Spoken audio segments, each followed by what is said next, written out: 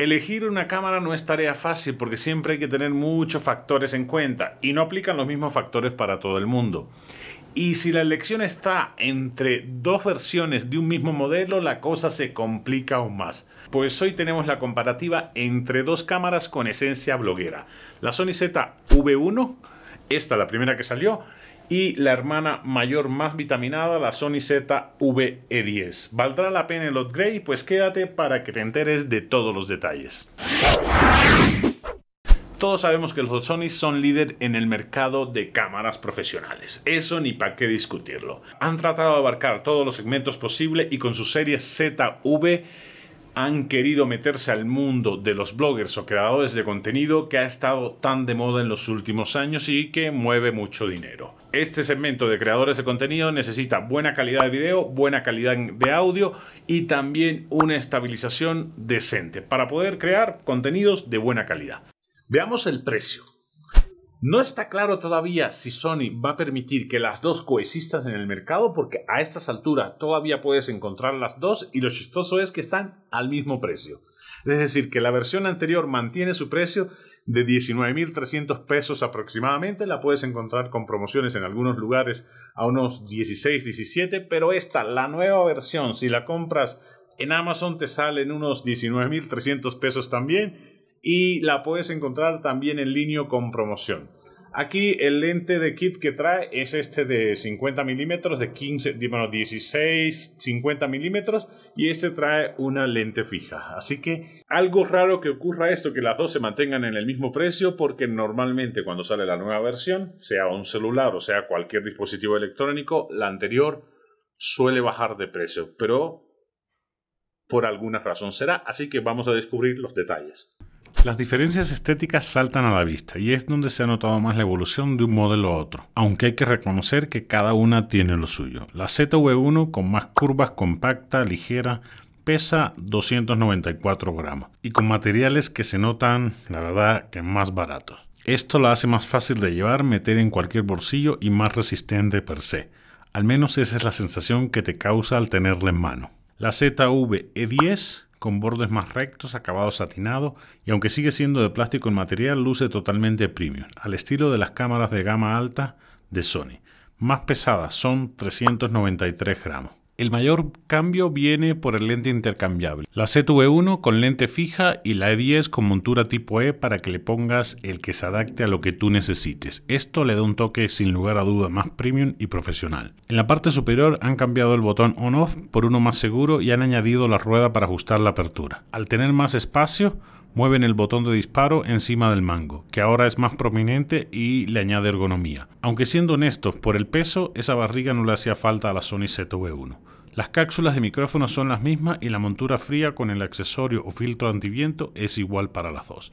La pantalla abatible touch, los botones traseros y el software es prácticamente el mismo. Ahí no hay novedad. La rosca para poner el trípode la han movido para un lado, un cambio que parece poco o irrelevante, pero hace toda la diferencia. Al querer quitar la tarjeta SD no tienes que desarmar todo el tinglado ni desmontar el trípode ni nada. En cuanto a las entradas, se mantienen las mismas y han añadido una de audio para conectar los audífonos y monitorear el audio mientras grabas. Ficha técnica, sensor CMOS, esta la E10 de 24.2 y esta la ZV1 de 20.1. Lente intercambiable, lente fijo el de esta.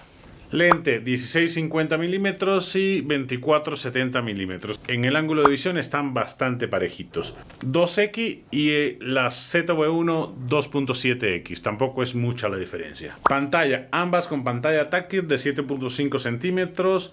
No ha cambiado nada en esta. Eh, abatible también para las dos. ¿Para qué cambiar lo que funciona, verdad?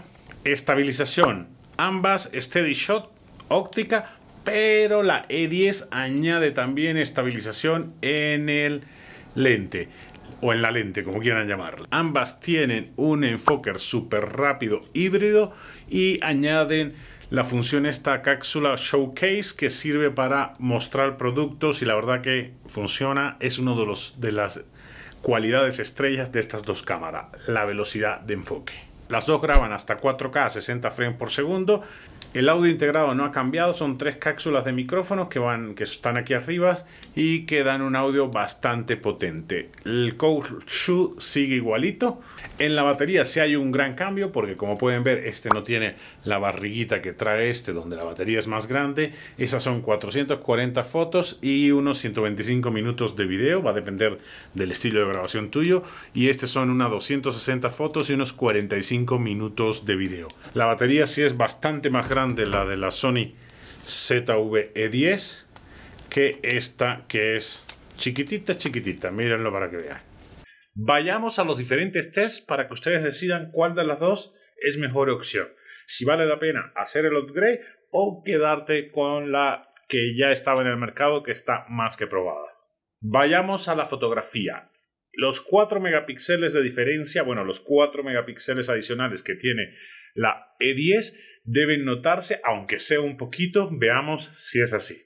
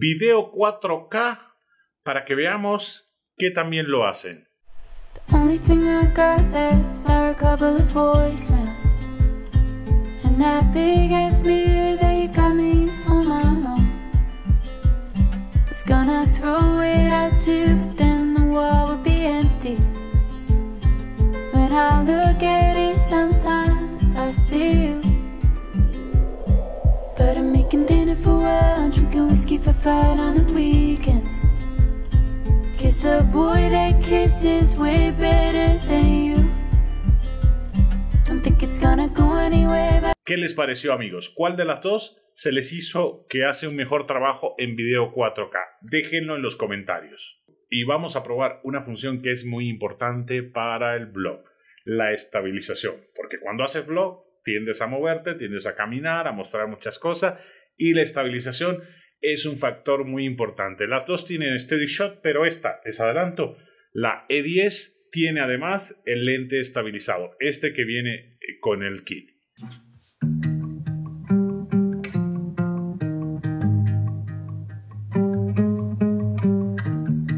Got no issues, it's kinda nice. Like running water into a paradise. Got no drama, feels like we arrived. ¿Qué les pareció, señores? Evidentemente se nota que uno de los puntos flacos de Sony siempre ha sido la estabilización, no solo en estas cámaras, sino en la mayoría de sus cámaras, pero aunque con esta quedaba mucho a deber, la Sony ZV1 con la E10 han intentado mejorarlo, han hecho un buen trabajo y la verdad es que ya puedes tener videos estabilizados con la combinación de cuerpo y la estabilización de la lente que trae incorporado el kit y si quieres un poquito más profesional todavía pues ya lo estabilizas por software. ¿A ustedes qué les pareció? Y ahora vamos al test de audio nativo de los micros que trae incorporado. Técnicamente no hubo mucha mejora o no hubo mejora en las tres cápsulas de micrófono, siguen estando en la misma posición y veamos a ver si hay alguna diferencia ustedes notan alguna diferencia. Esta es una prueba de audio con los micros internos que trae la cámara, el filtro de viento puesto. Estamos en el parque, está pasando un avión, como siempre. ¿Qué tal les parece la calidad de audio de estos micros nativos que trae la cámara? La verdad es que es, en mi opinión, es superior a la, de la mayoría de las cámaras, pero vas a necesitar un micro externo. ¿Ustedes qué piensan? Y de paso vemos el ángulo de visión y también la estabilización porque está el Steady Shot activado. ¿Qué les parece? Y esta es una prueba de audio con los micros internos de la cámara. Son tres, una cápsula de tres micrófonos. Técnicamente no cambió de una versión a otra, así que ¿qué les parece a ustedes la calidad? ¿Qué les parece la calidad del audio de estos micros internos? Por lo general, vas a tener que usar un micro externo, aunque este es uno de los mejores micrófonos que he visto en una cámara. ¿Ustedes qué opinan? De paso también vemos, bueno, el avión que no puede faltar, y de paso también vemos la estabilización y el ángulo de visión. Estamos grabando a 4K y por supuesto, gropea cuando estabiliza. Esta cámara, la E10, tiene estabilización en el lente y en el cuerpo. ¿Ustedes qué opinan? Ahora la velocidad de enfoques. Las dos tienen la función Showcase que te permiten usarlas para presentar productos, hacer reviews, porque tienen una velocidad de enfoque ultra rápida. Veamos si han cambiado, si ha mejorado, si se ha mantenido. Ahí vamos. I don't know how we got here. Yesterday we were flying, now you're standing in my kitchen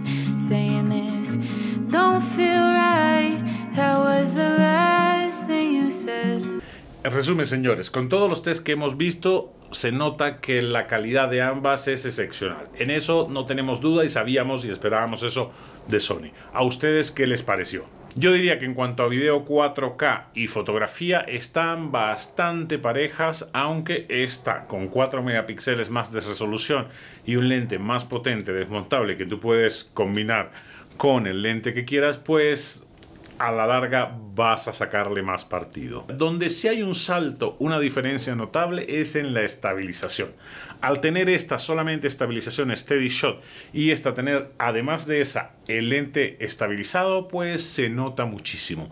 Una de las cosas que a mí me hacía usar esta cámara solamente para estudio porque en los reviews es muy buena, es muy rápida. Cada vez que haces esto, enfoca rapidísimo. Al mostrar el producto, enfoca rapidísimo, como pudieron ver pero no me atreví a sacarla afuera porque se tiembla mucho. Es decir, tenía que sacarla con un estabilizador y la verdad es que me daba pereza sacar la cámara y un estabilizador además. Cuando vi que esta traía estabilización en el lente dije, bueno, va a ser la panacea. La verdad que no es tampoco la estabilización al nivel de las Olympus con la que estamos grabando ahorita, pero hace un excelente trabajo. Sony con esto ha dado un salto y ha demostrado que realmente pueden hacer cámaras o combinar cámara con lente con una estabilización decente para usarla en la mayoría de tus videos sin necesidad de un estabilizador externo. ¿O ustedes qué opinan?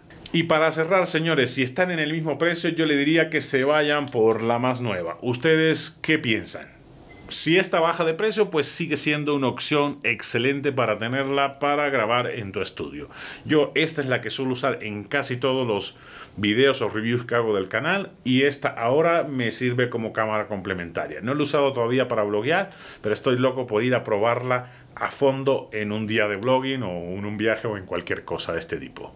¿Ustedes con cuál de las dos se quedarían? Déjenlo todo en los comentarios, amigos. Y esto ha sido todo. Si les resultó de utilidad el video, no dejen de comentar, compartir con sus amigos y un pulgar arriba. Ah, y si no se han suscrito, por favor, ¿qué esperan para hacerlo? Subo videos todas las semanas de temas variados. Nos vemos en un próximo video la próxima semana.